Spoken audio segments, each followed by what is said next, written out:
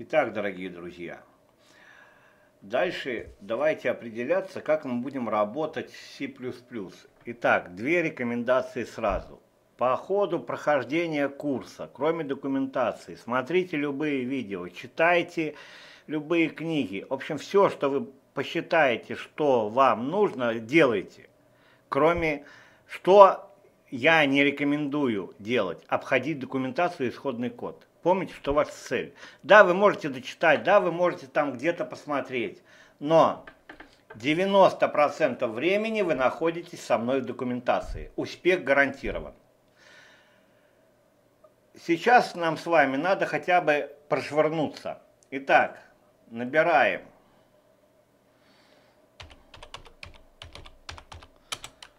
Solidity –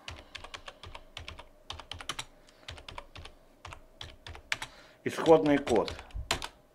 Набираем в поиске и находим на гид.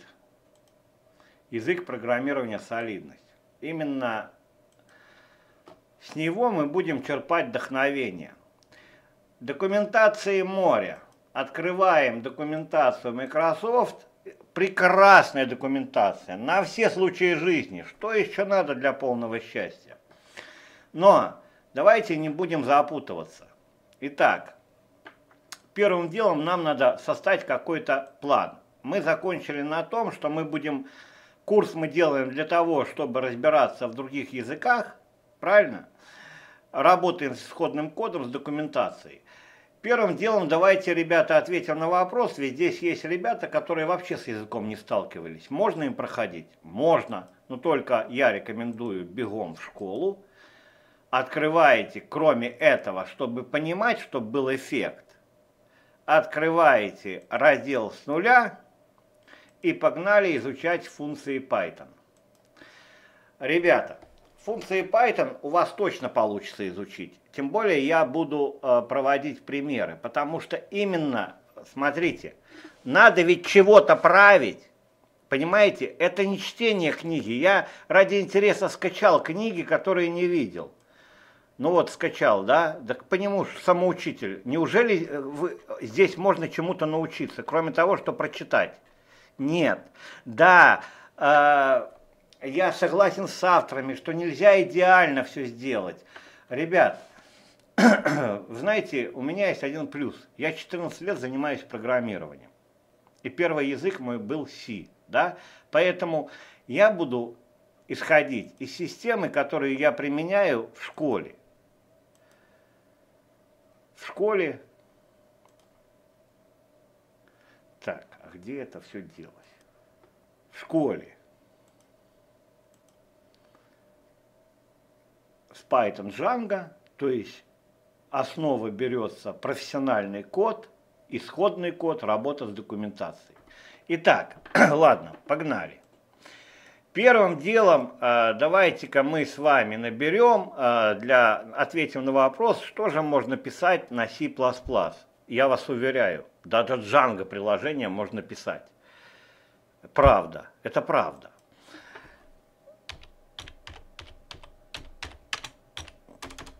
Наберем авиазомы C++ и э, прошвырнемся.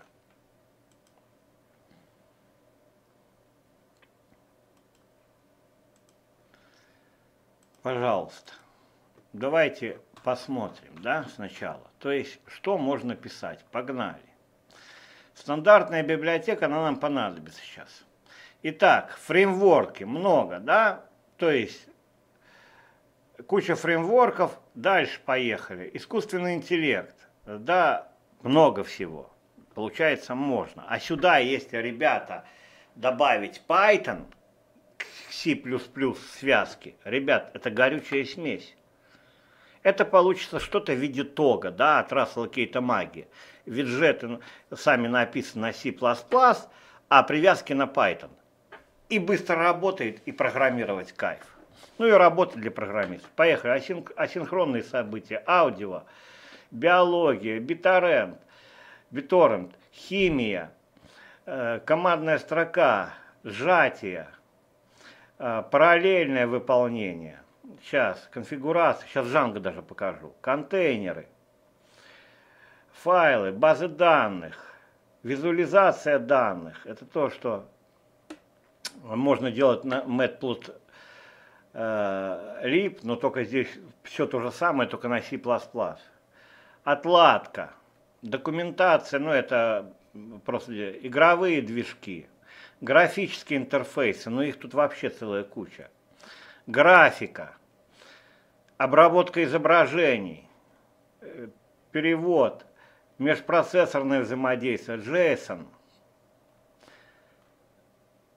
машинное обучение, математика, выделение памяти. Уже есть куча, не надо думать, есть куча библиотек, ребята, которые просто уже настолько отточены, что вам не надо об этом будет думать. Просто взяли библиотеку, но мы разберемся с показателями и применяйте. То есть всегда выберите несколько вещей. Мультимедиа, сетевое программирование. В общем-то, без работы вы точно не останетесь. PDF, физика, отражение, робототехника, научные вычисления, сценарии, сериализация, сортировка, виртуальные машины, веб-приложения. Ребята, а что вы удивляетесь? Django тоже здесь есть. QDjango. Веб-фреймворк написан на C++, построен на основе библиотек КТ, там, где оно возможно, пытаясь следовать API Django, отсюда название. То есть, э, можно писать на самом деле на C++ и э, веб-приложения, и все, и браузеры, и все что угодно. Ребят, просто я надеюсь, что вопрос новичков отвалился, да? А, теперь, как со всем этим быть? А, всего много, но просто по-разному называются классы, да? И разные цели. Но есть что? Есть ядро языка. Оно всегда не очень большое, но, по крайней мере, его можно изучить. Дальше определенные усилия затратить на определенную библиотеку и писать чего угодно. Итак, но для того, чтобы нам начать двигаться, а я учитываю, сейчас пойду с тем расчетом, что могут быть и новички, поэтому открываем код солидности. Открываем код солидности. И давайте смотреть. Я вам честно скажу, я на нем не сидел долго, да, я недавно для себя понял, меня интересует солидность, и, и надеюсь, вам интересно, как писать языки, по крайней мере, давайте вот это и возьмем. Итак, для начала открываем первую попавшуюся библиотеку. Видим CPP, да, то есть расширение файлов. Видим второе расширение H. Итак, дальше не пойдем, давайте разбираться сначала с этим. Любую библиотеку вы откроете, эти два типа файлов вы увидите. Ну что ж, погнали. Ответить на вопрос такой, как же э, мы будем э, писать? Вы знаете, ребят, ну самый простой способ это установить VS Studio Code. Кто на Windows, конечно, я бы рекомендовал Linux, Linux это однозначно, потому что программировать надо э, на Linux. Сейчас я посмотрю, где там чего мои делись, где там чего я хотел открыть. Ага, вот оно. Значит, что вам надо сделать? Устанавливайте э, VS Studio кода, да? Далее, ничего не надо ставить. Создаете любой пустой файл с расширением .cpp. VS Studio кода вам самим, сама предложит установить расширение C++ от Microsoft. Второе, я уже это не буду делать, но думаю, сами разберетесь. Открываем поисковик. Нам надо справка, для Linux я покажу еще проще. Справка VS Studio кода. Набираете VS кода run C++. И обязательно вы э, найдете э, справку. Сложного здесь ничего нету. Пока вам не надо лезть там в отладку, там хотя сложного ничего нету. Но принцип здесь такой. Э, значит, так, так как нам надо все-таки разобраться с этим файлом, да, то мы с вами сейчас э, отвечаем такой вопрос. Между, Вместе с этим, вместе с этим, Давайте сейчас я тут, я немного ставил совсем. Я наберу C++. И вот вы посмотрите расширение, которое установил. То есть э, смотрим, да, сразу смотрим э, C, э, значок видите, да, так, это English, но она зачеркнута, я, так, его, оно не поставлено. Дальше, C++ extension pack, да, pack, то есть для отладок. Здесь я не ставил, эта тема, это не то. Дальше, рун-кода можно, да, э, должно появиться. Э, сейчас покажу. Дальше, кода рунер. Что не надо, потом удалите, попробуйте, да, и с тестами, и с всем. Иными словами, должно получиться в конце так, когда вы Сейчас мы напишем сначала простой код, но нам надо с файлами разобраться, чтобы где-то писать. Поэтому идите, занимайтесь средой вот здесь появится у вас галочка, и по сути дела нажимаете и собираете, да. Все, вот отработал код. Но вначале давайте сразу перейдем, э, значит, для пользователей Linux вообще проще. Можно вообще вначале ничего не ставить. Просто создаете директорию. заходите, создаете директорию. Допустим, C++. Вот э, я создал директорию э, 1 C++. Э, теперь, смотрите, вот у меня есть файл, это я для вас готовил. Допустим, сейчас напишем. Э, main CPP, так, где тут попроще еще код пока нам. Так, это сложнее. Вот, hello world. Здесь попроще. То есть создали файл с расширением CPP. Далее. Открываем его в командной строке. В Linux установлен код а, C++, он а, компилируется. Это язык со статической типизацией. То есть сначала надо скомпилировать, потом а, показать. Возможно, в VS Studio там другой компилятор, но здесь установлен G++ в Linux. То есть G++, вы, чтобы легче было выведить себе файлы ваши, мы, по-моему, там blank 2 CPP, да, то есть, что мы делаем? Указываем компилятор G++. Далее у нас идет название выходного файла. Ну пусть будет Вася. Ну, чтобы было отлично от других, да? Вася. И далее берем э, бланк 2 CPP. И э, чего у нас не хватает? Флажика.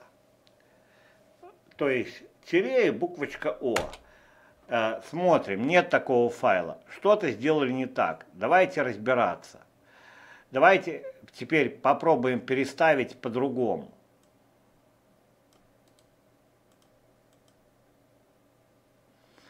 Я это специально делаю.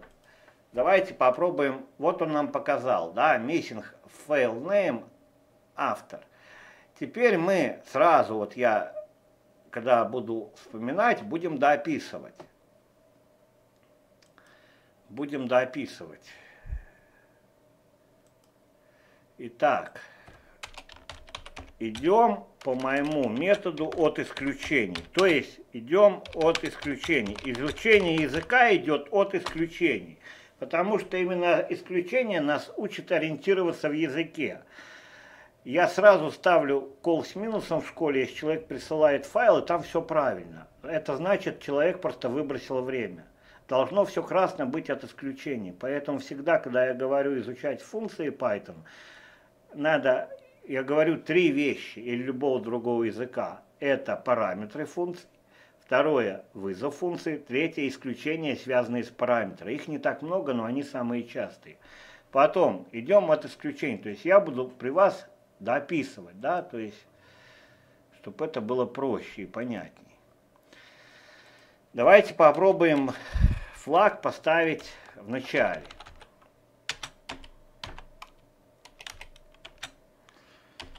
А, может я... Так, все сработало. ls. Теперь делаем выводы. В отличие от Java, где класс должен называться как файл, мы видим, что в C++ а, название выходного файла не имеет значения. Вот наша Вася появилась.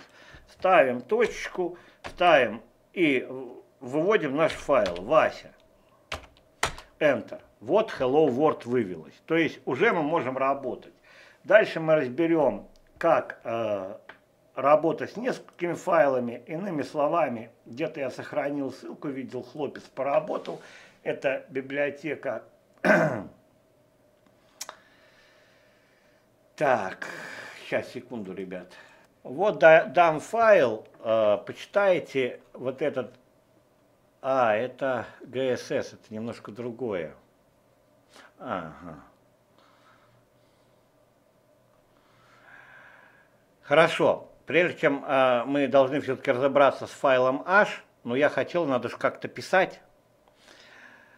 Набираете.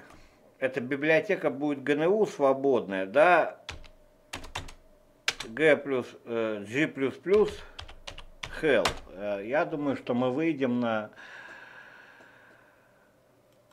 Посмотрим. Наберите хотя бы. Вот э, G плюс версион ретро кода. Далее поехали флаги, да, то есть мы нашли.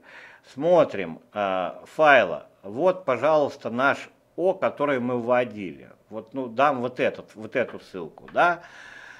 Даже возьмете, что это поместить вывод, да. Иными словами, указывая О, мы э, указываем файл, выходной файл. Ребят, теперь еще раз повторяю, обратите внимание, это я обращаю внимание для новичков. Я сейчас от, вот это вам даю, да, чтобы вы не лазили. Это для линуксоидов. Ну, можно, конечно, и VS Studio кодов. Я сейчас проговорю, мы столкнемся с разными. Компиляторов для C++ много. Просто, ну, кому что ляжет на душу, тут э, я показал самое простое – есть более современные, есть менее современные. Так, вообще, что мне надо? Справку было это вам дать. Так, себе сохранил. Погнали дальше. Итак, минимально, минимально вы должны справиться э, с кодом.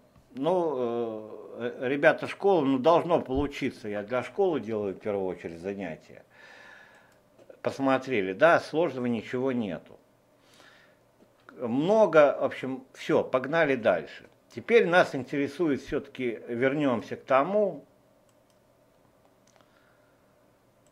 к Solidity, файл H. Ой, закончу еще предыдущую мысль. Открою вот этот файл наш, blank 2 CPP. Ну, откроем Sublime. Обратите внимание, в C++ всегда будет, э, должна быть точка входа. Иными словами, компилятор, он тупой. Он знает одно слово, mine. Вот когда он увидит это слово, он скажет, ура, ура, я рад теперь, что я могу собрать программу. Все. Если он не увидит этот файл, он не будет работать. Давайте-ка попробуем сейчас запустить, давайте этот вопрос, чтобы Mine 2, то есть перепутаем ему все. И теперь попробуем запустить. Нам надо, важно, что понять, что будет за исключение. Иными словами, командная строка, а, мы Вася последняя, ладно, давайте скопируем.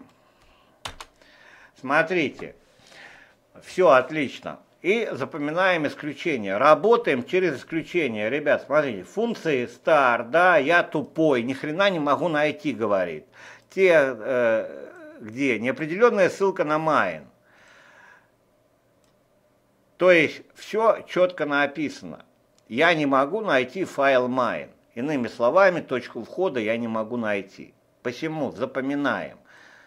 После этого открываем, все проделываем, все ручками по клавиатуре должны километрики намотать. Ничего не должно происходить, что вы прочитали, а понятно. Это, ребята, время выброшенное. Только то, что вы делаете ручками, с исключениями, то будет работать. Итак, сохраняем. Вводим команду. Все окей, это работало. Давайте еще тут все-таки, пока мы э, и к этому придем, убираем. Убираем вот эту ссылочку. Все. Сохранили Ctrl-C. Вводим. Повторяем. Ап. Все. Все четко понятно. Смотрите, ну все же считается. Include. Мы позже разберем, что это такое. Donut name тип. Не определен тип, имя, да, не понимаю. Это уже следующее будет видео за этим. Все пока. То есть поняли, принципиально работаем с исключениями. Что принципиально, да, для новичков, комментарии вот так. Ума много не надо, две косых черты и пиши разную хрень. Все, все стерпит. Давайте попробуем написать тут, то есть пробуем, да, стерпит, не стерпит, да. То есть все, Ctrl-S, все, зашли. Все, стерпел, все, молодец. Ты хороший парень. Но надо смотреть, где в коде профессиональном делаются комментарии. Я сейчас просто это показал, да, что все надо проверять. Итак, на этом этапе что надо было вынести до этого, да, мы дойдем сейчас до было вынести, что все изучается через исключение. Надеюсь, запомнили? Сложно сказал? Нет. Про main запомнили? Ну, тупой он, понимаете? Ну, все. Как увидел main, ура, ура! Я еду там Петроград или как там, есть пословица. Он говорит, я теперь соберу программу, я, я не тупой, я соберу, я знаю слово одно main, main, main, main. Ни хрена ты больше не знаешь, я только знаю. Ну вот, ну в общем поняли. Ничего здесь сложного нет. Итак, поехали дальше я нашел для вас, сейчас мы проделаем, там умно написано, у нас же есть справка, мы не будем пользоваться, мы увидели файлы, файлы H, и все, ребят, там все написано. Это написано для самых тупых, а самый тупой кто? Бовсуновский, да? Поэтому у вас всех получится точно.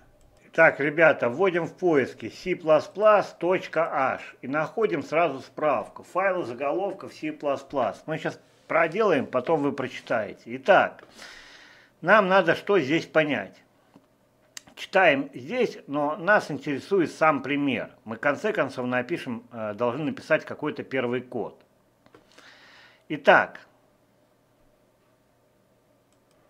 э, значит, пропишем чуть попозже, да. Сейчас давайте разберем, э, что это значит. Нам надо этим орудовать будет.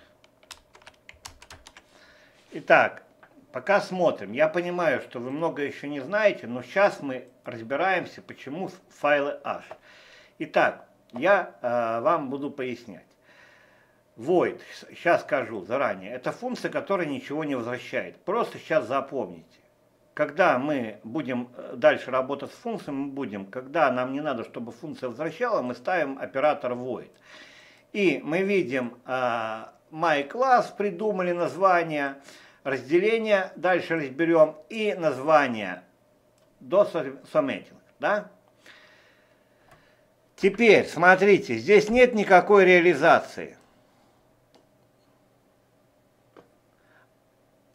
Здесь нет никакой реализации.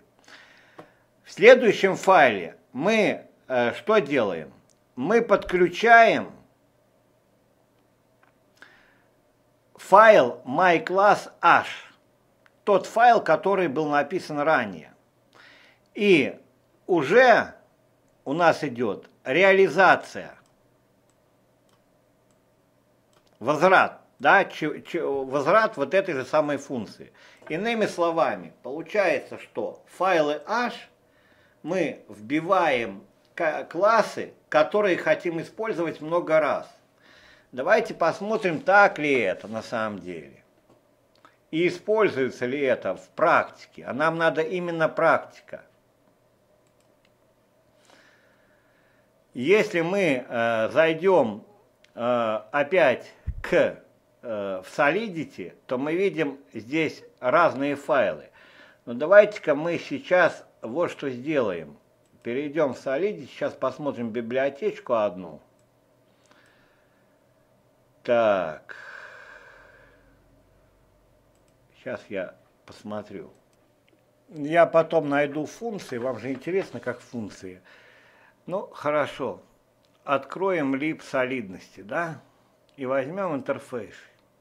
Откроем любой файл, пока не вдаемся в подробности, пока нам надо только использование самого файла. А, что же здесь мы откроем?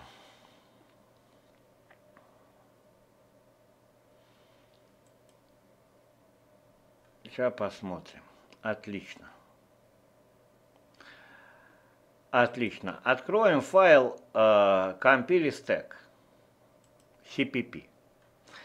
И мы видим, что действительно lib solidity analytic control пошли вот этот файл искать. Control flow analyzer, да, H.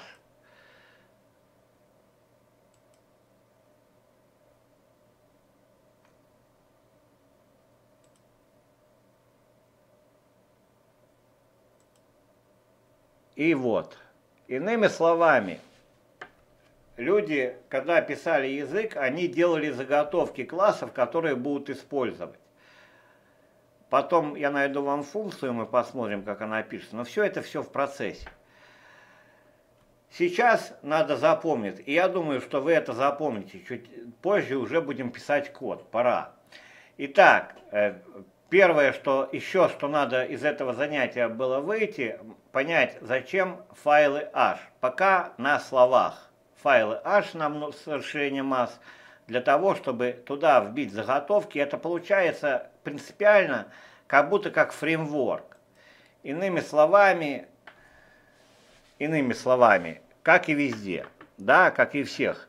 Теперь еще одно, скажите, вы мне скажете, что ой, язык очень C++ э, очень сложный, и там все как-то по-другому. Да ни хрена там по-другому нету. Есть своя реализация, но не более того. Открываем солидность и обращаем внимание сейчас на э, верх файла. Открываем абсолютно любой файл, который вдумается. И открываем здесь. Что мы видим вверху? Include. Да? Ребят, скажите, пожалуйста, вот я открываю Django сейчас. Практика Django. Открываю файл models, допустим, models.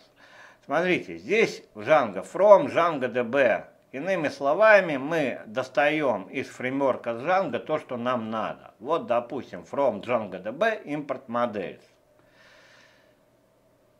Ну, давайте, чтобы э, долго не ходить, но это ведь банально просто.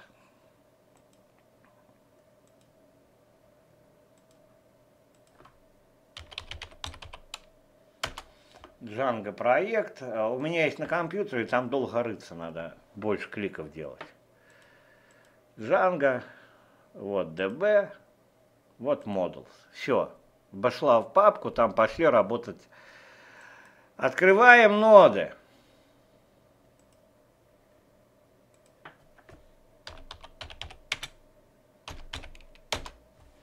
Открываем Node.js. Эй, что-то нам надо, чтобы на компьютере не открывать.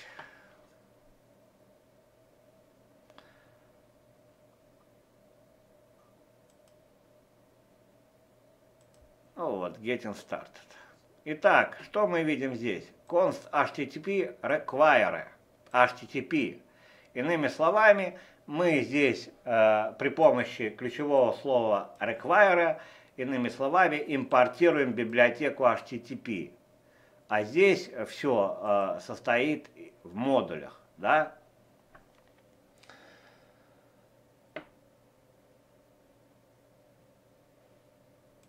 Открываем API и э, погнали вот все эти модули. Так вот, э, в C++ все происходит абсолютно так же. Ведь надо откуда-то брать этот язык. Он сам по себе не возникает. Логично, ребят? Просто, правда? То же самое, только здесь это делается при помощи include. Мы дальше будем разбираться и работать. Иными словами, будет что-то касаться include, вот допустим, смотрите, вот это h-файлы, это те, которые человек написал сам. Но если зайти в другие библиотеки, просто здесь вот немножко неудачный файл, ну давайте самое простое возьмем то, что мы видели на компьютере. Вот, библиотека IOStream, да, то есть вот это уже стандартная библиотека ввода-вывода, то есть это уже хранится. Иными словами, язык C++ имеет так же, как и другие языки, место, которое называется стандартная библиотека, где заранее написана определенная куча функций и все прочее. И мы с этим будем знакомиться. Поэтому, когда мы будем дальше соображать, с чем работать, первое всегда вверху есть импорты. Импорты будут соответствовать совершенно тому, что мы будем делать. Если сейчас нам надо ввод-вывод, да, то мы э, вот эту библиотеку. С другой стороны, мы могли бы написать сами файл H, да, а потом э, сделать это через пень-колоду еще через 10 шагов. Вот это сейчас надо тоже запомнить, что все языки, они схожи. Всех импортируется, потому что само по себе ниоткуда не может появиться. И если мы зайдем на сайт Microsoft, скорее всего, я уверен, что Microsoft предложит. Если мы ведем что? А ведем мы следующее. Опять, мы же не забываем, что мы пойдем с объектов. Просто сейчас я азы вас знакомлю. Object C++, C++, ой, это C++. На наши функции открываем. Давайте посмотрим, чего нам внизу а, предложат. О, ну я так и говорил, стандарт, стандарт Libraro. Вот она, это стандартная библиотека. И давайте смотреть. Запоминать надо, ну давайте искать то, что мы только что видели. Начинаем пользоваться, учиться документацией. Вот мы видели в файле сейчас чего там, знакомого. Давайте хотя бы по буквам пока знакомого искать. Ну смысла пока нет, но появится, ребят. Не надо торопиться, на второе задание уже острим. Можно поиском воспользоваться, но давайте ручками. Итак, Наверное, наверное, наверное, она должна быть. Буду тупить много, стараюсь не отрываться, чтобы э, все-таки, э, понимая, что новички, умничать тоже не буду, ребят. Все должны писать, все. Так.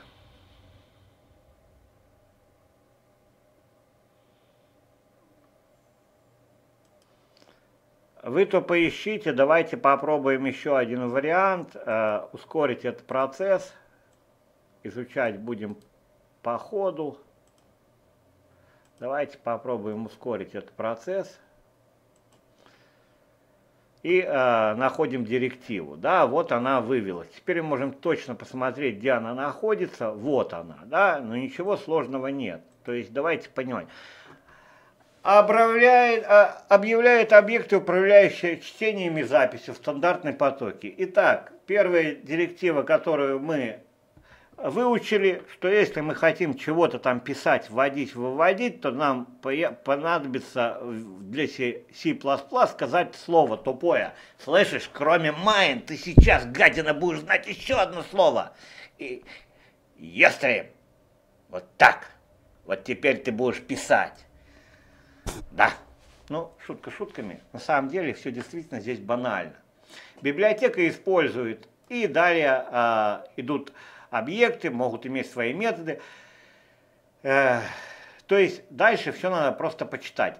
Когда мы будем дальше использовать, уже будет другое. Но сейчас наше дело разобраться все-таки, как подойти к документации и понять, что нам сейчас надо запомнить с этого момента, что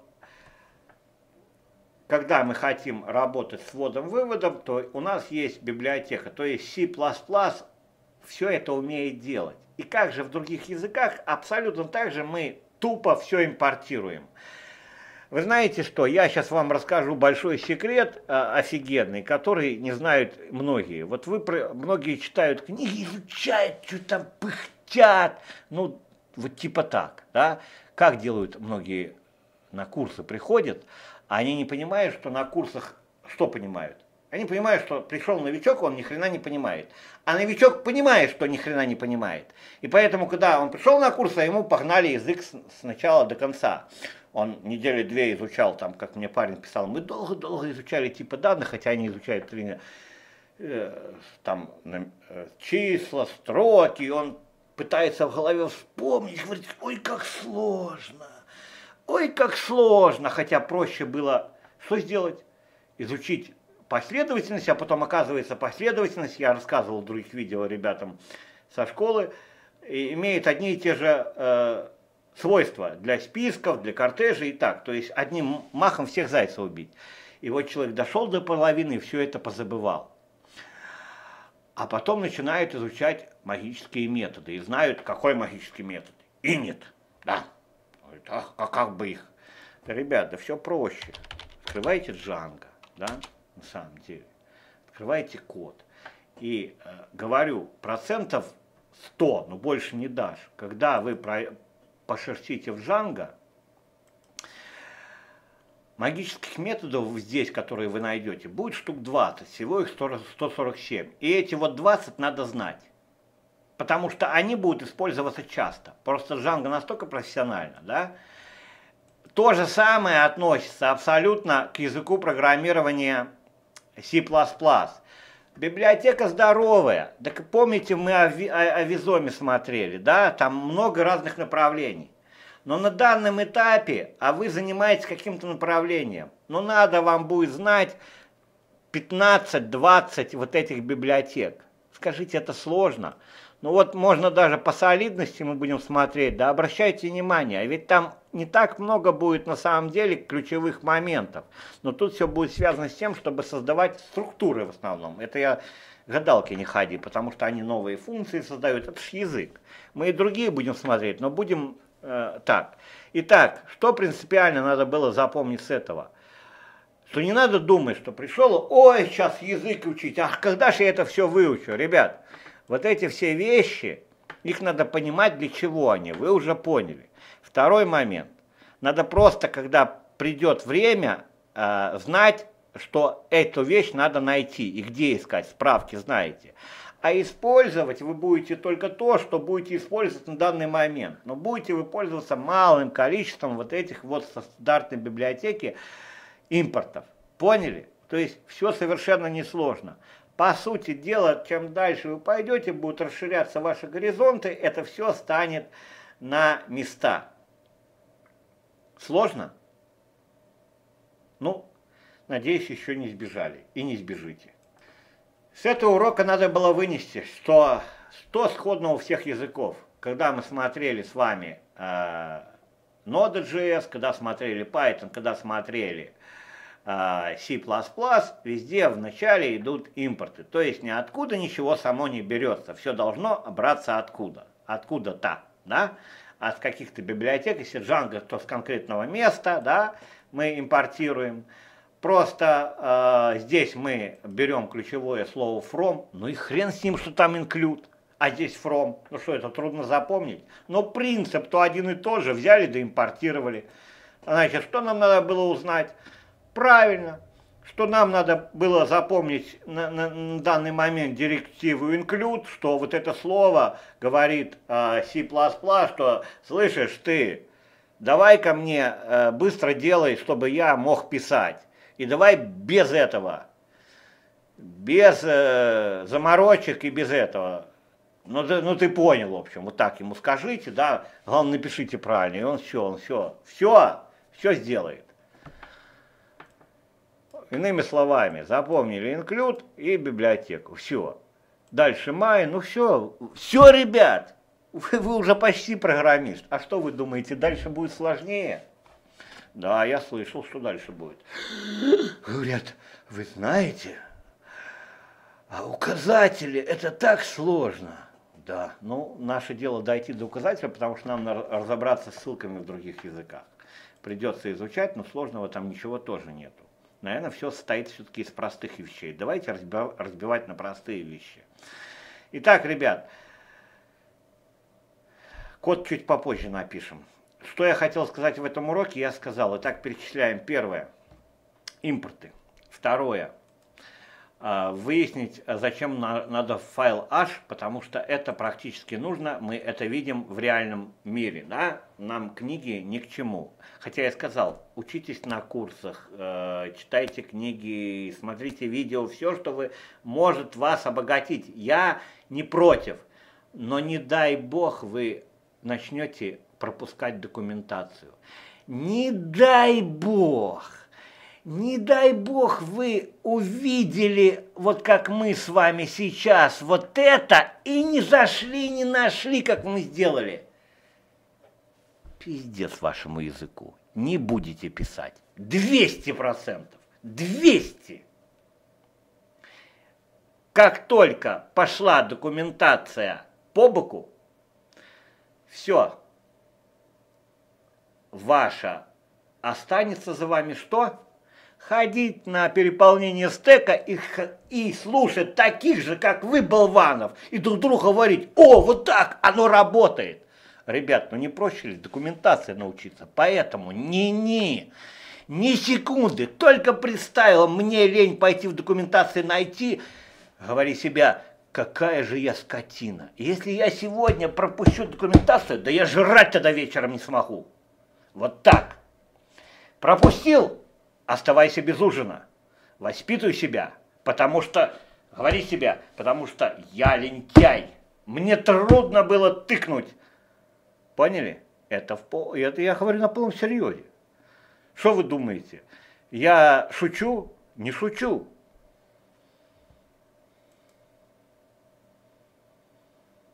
Так, Джанго закрываем пока. И все закрылось. Ладно. Э, шутка только в том, что здесь у меня такой шутливый тон. Но насчет документации я говорю серьезно. Ну давайте скажу серьезно, чтобы вас приняли серьезно. Ребята, учите добро, добро учите, чтобы все было добро. Запомнили, да? Не запомнили. Тогда скажу по-другому. Ребята, есть два качества работы программиста. Это исходный код и документация. Вы можете прилагать тысячу усилий, применять суперумные формулы там по 100 тысяч часов. Вы будете заниматься годами, но вы, если вы не будете делать работу программиста, вы не станете программистом. Ну как можно быть программистом, если ты не умеешь делать работу программиста? Я не пойду в документацию, я там ничего не понимаю. Давайте разбираться вместе. Поэтому действие, которое я показал, оно должно проделываться с любым куском кода. Кстати, ребят, вот это называется система работы с кодом. Один болван идет на переполнение стека, а потом, как пишет Икар снова, рассказывает –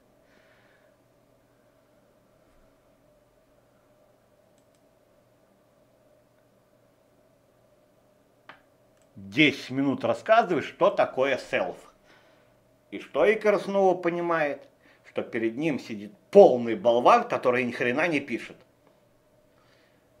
Самый, да, прекраснейший сайт, но он для вас может быть чем? Самым большим препятствием. Мы с вами учимся разбираться в языке, ловить рыбу, а не искать готовые ответы. Все, ребят, мне надо уже бежать. На сегодня хватит.